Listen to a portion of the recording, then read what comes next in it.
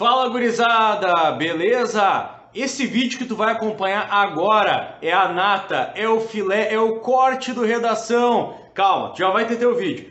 Faz o seguinte, vai aqui embaixo, deixa o like e comenta se tu curtiu o material, se tu gostar, né, desse corte. E claro, aproveita que tu tá ali e já te inscreve aqui no canal da Rádio Pachola. Fez isso?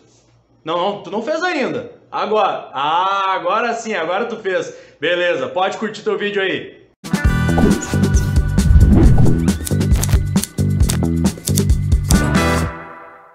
Tu, sei lá, não tem- sei. O Esqueloto tem dois títulos do Campeonato Argentino pelo Boca. É, começou já Sim, com... um inclusive, né? E uma Copa Sul-Americana pelo Lanús. Aí é título. Aí é título. Lanús ganhar uma Sul-Americana. Isso é título, cara. Isso é título. Isso é título.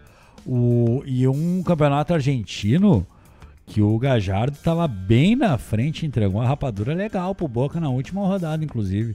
Tava disparado na liderança, o Boca foi, foi, foi, foi na finaleira em março até. Eu vou te dizer um negócio, Fala, Eduardo Andriotti, porque eu quero saber Fala, o que tu... Eu quero saber do Ah. teu sentimento. Ah. Eu quero saber do Tô- sentimento tô- de tô- Eduardo Andriotti tô doído, agora. Eu tô doído. Eu sei, eu sei. Tá machucado. Bastante. Mas e Thiago Nunes? Cara, é o que eu te falei, cara. Eu, conhe... eu, eu acho que ele conhece muito de futebol, cara. O meu medo é como é que o grupo vai aceitar o Thiago Nunes, né? O grupo do Grêmio é um grupo pesado, cara. E eu não tô falando em forma pi- física, né?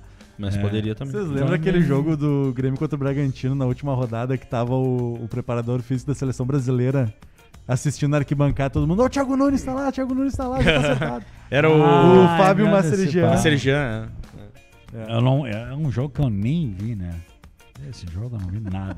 Estava secando eles com todas as forças. E Com todas as forças do meu coração, da minha vida. Todo ser E Andriotti. aliás, se eles perderam o título porque a gente perdeu a vaga na Libertadores, valeu a pena. Tá, mas e aí, Thiago Nunes? Agora. Faria de novo, inclusive. Eu fico um ano sem Ô, Libertadores meu, pra eles não ser campeão. Por que que tu Azar. faz isso, cara? Ah, Zé Por gosta que de tu- me Pô, complicar. tu não consegue ficar uma semana sem se complicar, cara. Os caras já ficam... É, porque esse Eduardo Andriati... né? E o cara vai lá e complica. Polêmica! Não dá, Nem pra cara. polemizar este Pô, programa. tenta ficar tranquilo uma Ah, semana. vamos falar de Thiaguinho. Thiaguinho, Thiaguinho, Thiaguinho. Cara, eu acho que. Ai, hoje. Eu já tô achando que o Grêmio vai ser campeão de tudo com o Thiago Nunes. Eu tô falando que o Grêmio Ah, é emocionado. É, foda. Ah, mas desculpa. Ah, cara, eu acho que ele conhece muito futebol. Ele fez um time muito bom com o Atlético Paranaense. E a questão dele com o Corinthians é muito do que a gente tinha conversado, César. Sobre a quebra de estilo de jogo, né? Vendo um Corinthians que tá há 3, 4 anos ali, saiu o Tite, que começou fazendo um time jogado, daqui a pouco foi se fechando, se fechando, se fechando, caiu na mão do Carilli e botou um ônibus na, na frente da área e jogava no contra-ataque, bola no jogo, foi campeão brasileiro. Né? Mas era tudo fechado, fechado, fechado, fechado, fechado. Daqui a pouco chega o Thiago Nunes e sua facerice. Difícil, né, cara? Ainda mais no Corinthians. É um pro- é- esse processo de, de mudança de estilo do jogo requer muito tempo e paciência, coisa que num time contra o Corinthians, como o Corinthians e como o Grêmio tu não vai ter. Agora, ele chega no Grêmio, pega um, um esquema que é bem parecido com o que ele gosta, conhece aqui a terrinha, sabe como funciona me serve. O problema é a relação.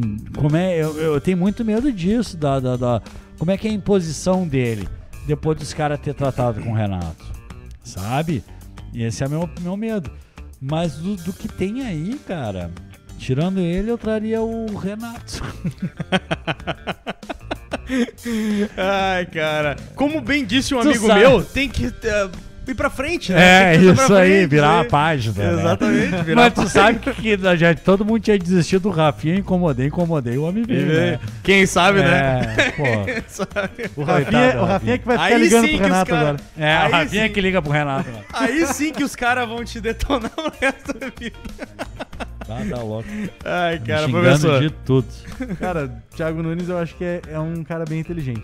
Eu, Eu sou favorável ao nome dele, mas eu tenho o mesmo medo da questão do vestiário com relação a como que o Thiago Nunes vai conseguir fazer essa, essa gestão com os jogadores mais cascudos e tudo mais. Mas questão de, de inteligência, de pensamento de jogo, eu gosto. Eu gosto do Thiago Nunes. E eu acho que. Muito bem, gostei da sua apresentação. A voz é boa, tem, que presença de tudo. palco, mas pra mim hoje é não. É, tipo isso, né? ah, é, o meu, o meu único medo é com relação a como que ele vai lidar com o vestiário, mas questão de filosofia de jogo eu acho que é interessante. E o meu medo é justamente a, essa, essa questão de cisão de como o time do Grêmio joga. Porque assim, o, o time do Grêmio, no início da passagem do Renato, tinha uma questão de toque de bola, um time pra frente, futebol mais bonito, etc. Daí aos pouquinhos foi perdendo isso, as peças foram mudando.